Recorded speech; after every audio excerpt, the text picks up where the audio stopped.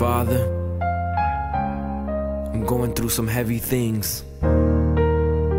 It seems like this world ain't getting any better. The more we try to get closer to you, the farther we run from your throne. So many nights wondering when will it end? When will the day come when happiness begins? I'm running the race, but it seems so hard to win. I'm sick of mourning, my stomach is throwing up in the morning. I'm calling for help and watching it melt away. My heart's been put on display and put away in many ways. Many times I told myself it was okay, and anger was the price that was paid.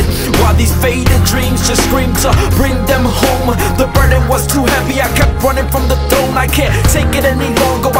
I can taste